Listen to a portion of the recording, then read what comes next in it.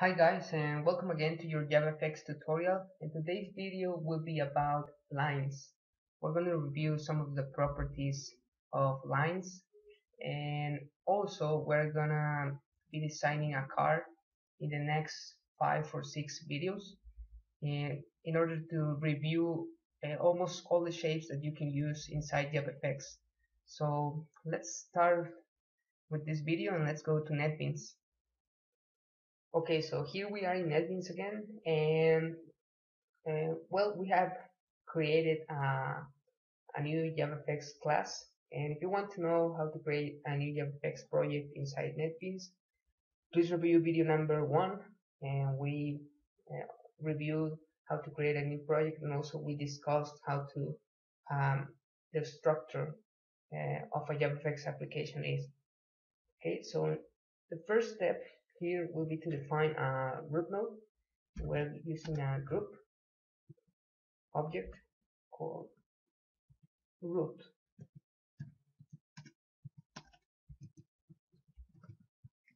Okay. And then we are going to define three lines. And two of them will be for the straight edges and the other one will be the straight lines. Okay, so let's start defining our tree lines. It will be line number one.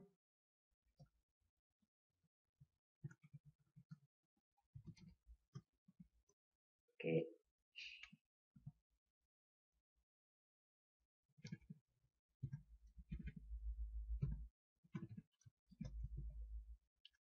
Okay, we have defined line number one here and now let's see how uh, what these numbers means.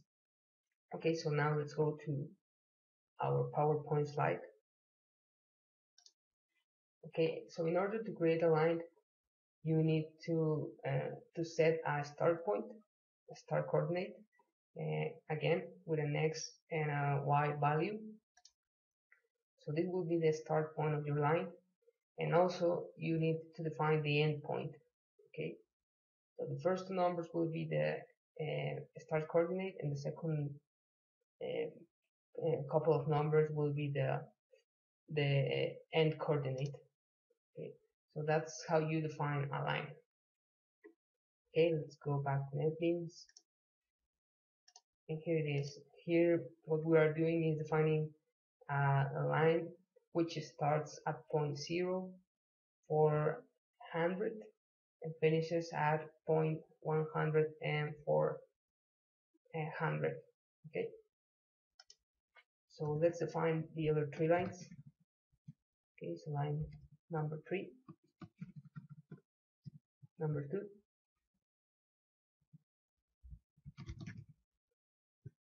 Okay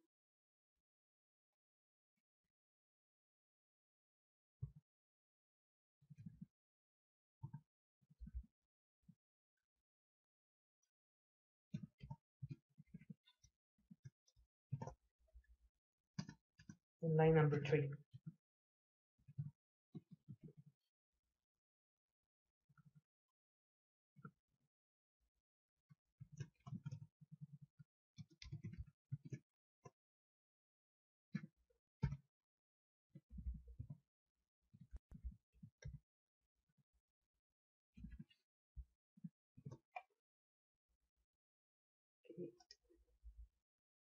let's correct this one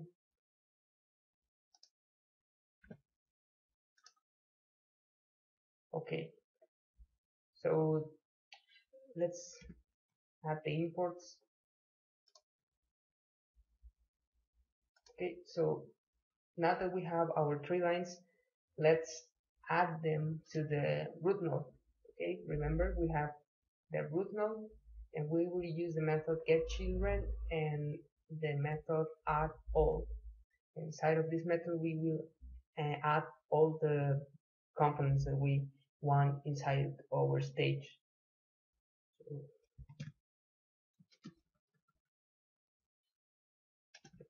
one.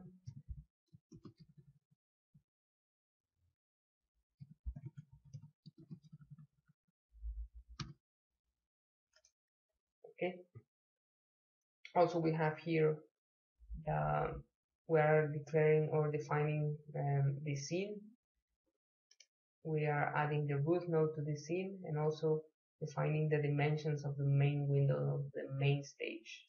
1000 plus 600 and the uh, color the background color for for this uh, stage this scene will be gray. Okay we're setting the title here and setting the scene and also so showing the the the main window the stage. Let's see how it looks so far.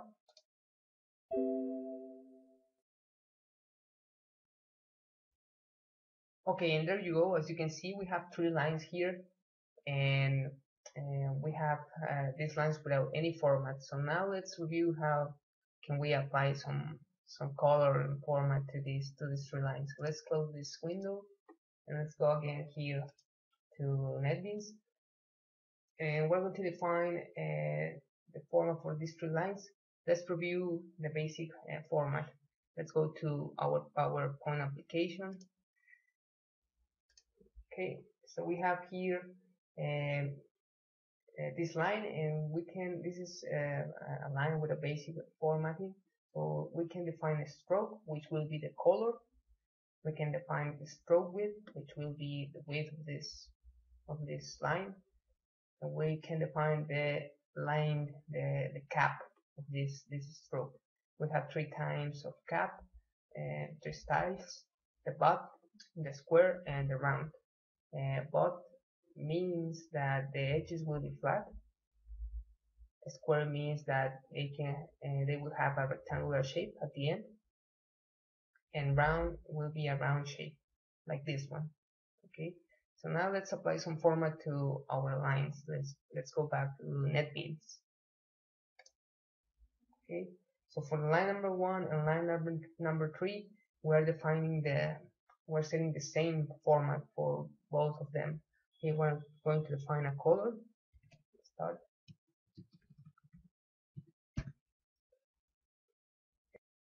And we're going to use set stroke method. Okay so in order to select a color let's use the class color. And then and we can choose a, a color. Uh, okay. So let's uh, use brown.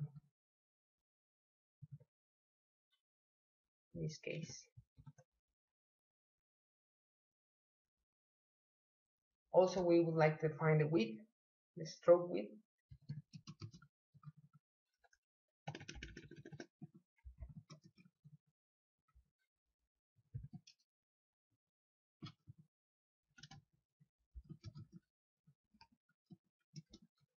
stroke width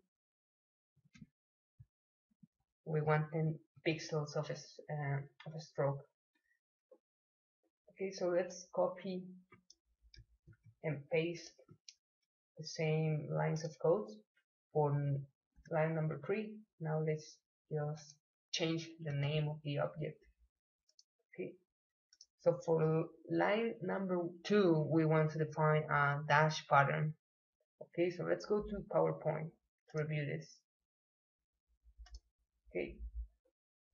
So a dash uh, uh, stroke uh, a stroke with a dash pattern would be like this one.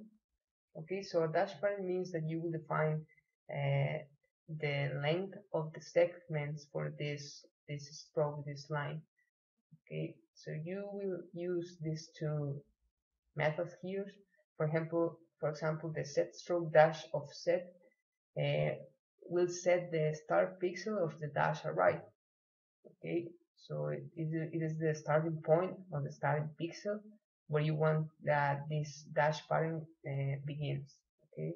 And the, and get stroke dash array uh, with the add all method will set the the length length of each segment for this this dash pattern. For example you can in this case we can define a, a dash array of 40 then I don't know 15 for this empty segment and then 5 for this little segment here okay? And this pattern will repeat until the end of the of the line okay? So if we define an offset of zero and this means that the start pixel will be the pixel 0 for this uh, dash array to start if we define the offset uh, as 10 eh, this means that uh, in the pixel number 10 the the array will start. Okay? Let's go back to NetBeans and apply this to to our lines. Okay so line number two will be assigned with a dash pattern. So first of all let's define uh, the color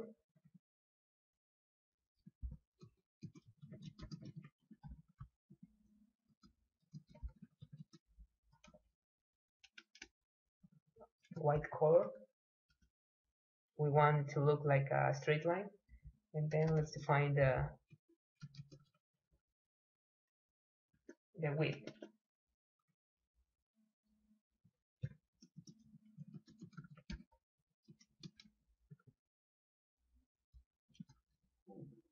We want a 10 pixel width as well. And we are going to define the cap. It is important to define the cap here because uh, otherwise uh, the dash will not take effect. Uh, I discovered this by playing around with the with the code.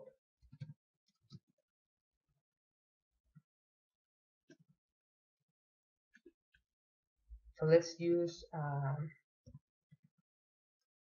um, line cap style. Uh, a bot uh, line cap, uh, cap style sorry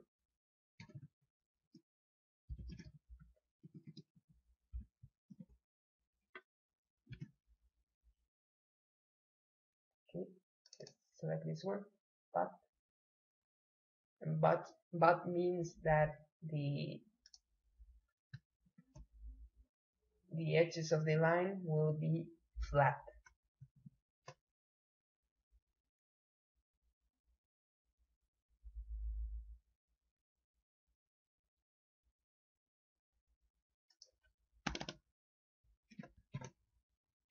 Okay, let's start defining the the dash part.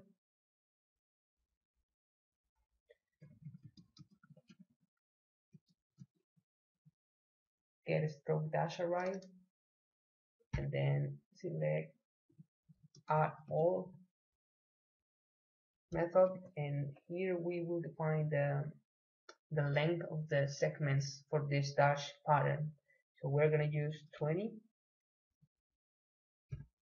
this method receives double values so 20d and 40d okay let's define finally the offset for this dash pattern.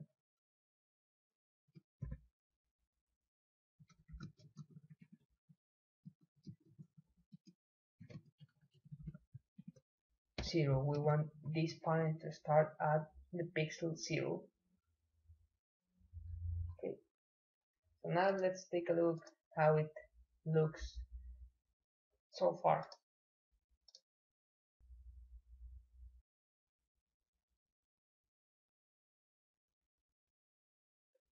okay so as you can see all the format had um, has been applied to these lines and that's what we wanted uh, for these lines we wanted two brown lines and one white line with a segment with a dash pattern and the first segment is 20 pixels length and the second which is an empty segment is 40 pixels length. Okay and, it, and this pattern will repeat until the end of the of the line. So thanks for watching guys and don't forget to watch the following video next video. Uh, we're gonna create the car shape and we're gonna use a path in order to create this shape. So don't forget to like subscribe and share and have a good one